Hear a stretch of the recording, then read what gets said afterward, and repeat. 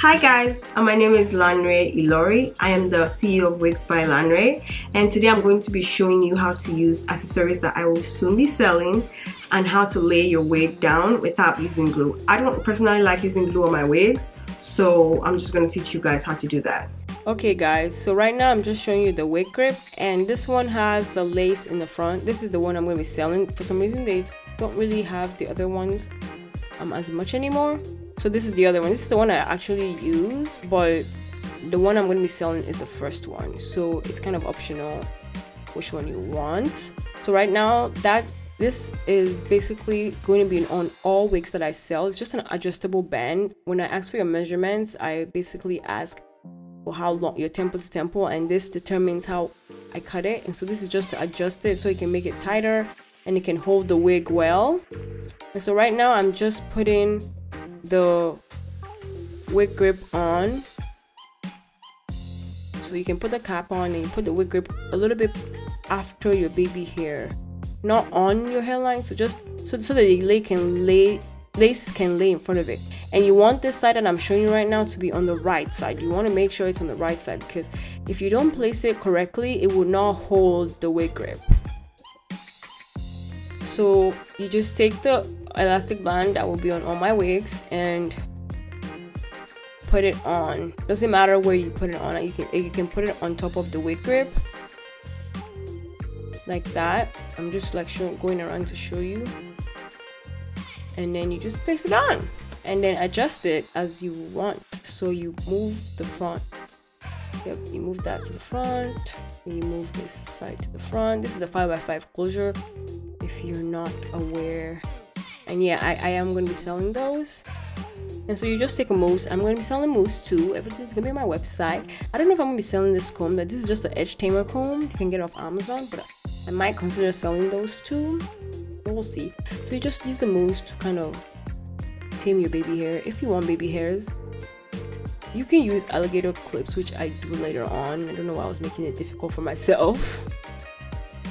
But yeah you can just use the mousse. You put a lot of mousse to tame your baby hair. Yep and that i just find this i don't even know where i found out this cream yeah see you can just use alligator clips. Um i don't know where i found that that comb but that comb is very beneficial to having baby if you want to have baby hairs and then this thing on my neck is basically a wig slayer. I will be having those on my website when it launches. So stay tuned for that. I'm going to be having two sizes. I'm going to have the small size and i'm going to have a bigger size. So yeah. I'm going to put all the dimensions when i do sell them.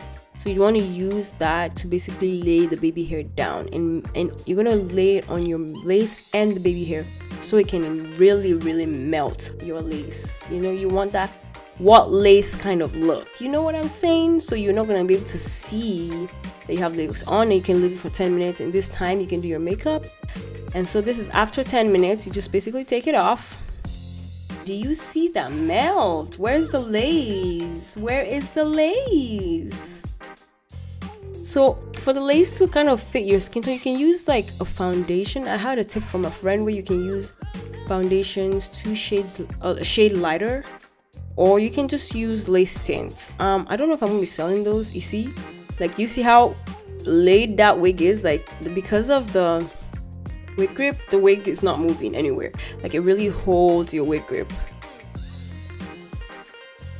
So and I'm flipping. I'm trying to show you guys there is no movement of the wig. I mean, when you put it up, you're gonna see the movement, but and you can see the back. Yep, no movement because of the wig grip. That wig grip really holds it. So right now, I'm just showing you another um, wig. This is basically a front, a frontal. Yes, this is a frontal. This wig is not my me. This one has adjustable um, bands, but it's not. A, it's not frontal. It's a frontal wig. So I'm using the same band I use and put the wig grip right in front of your head or you can just use this one. This is the one I'm going to be selling on my website. So you can put that lace where you want your wig grip to show and where you want your parting to show. like I said, make sure the wig, the longer side is on the right side and just put it there. And just like it's a velcro so you can just paste it on there. Put your wig on just adjust it a little bit.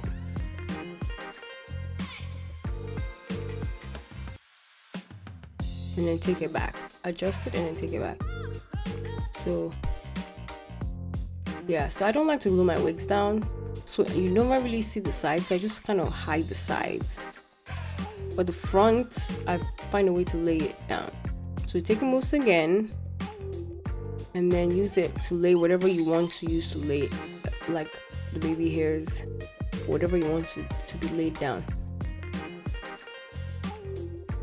Yeah so I'm just like laying my baby hairs down. You can just lay the baby hair down? Well if you don't want baby hair you don't have to have baby hair. You can just lay whatever is closest to that place down. And so to, to lay the sides I'm just using this small you know section of hair and just putting mousse on it normally you don't see the sides but most people like their frontal to be laid down with glue but I don't really glue mine. I just don't like glue. It took me a, while to grow back my baby hair so I don't really glue anymore. This is the edge slayer. That's what it's probably going to be called on my website.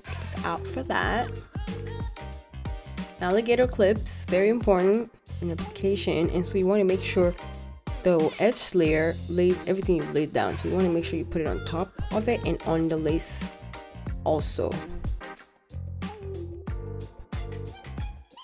I like to put it in the front because some if you put it in the back sometimes it just catches because of the velcro part catches on the hair. So I feel like it's much easier for me to put it in the front than the back I don't know what I'm doing with my tongue guys. That's just something I've done as a kid. I'm sorry. I like to play with my front teeth I think that I like to play with my front teeth so that yeah so you leave this on for 10 minutes and kind of do whatever you need to do. And after 10 minutes you take it off. And voila! Where is the well i mean with her, this one you can kind of see the lace but you can't really if you blend it more you can probably not see it. See so then i like to put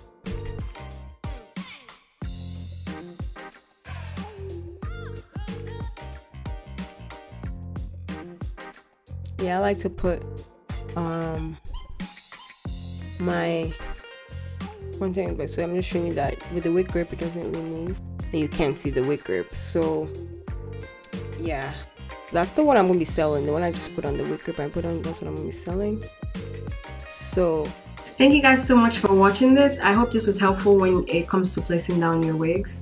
Um, and I'll see you guys in my next video. Bye guys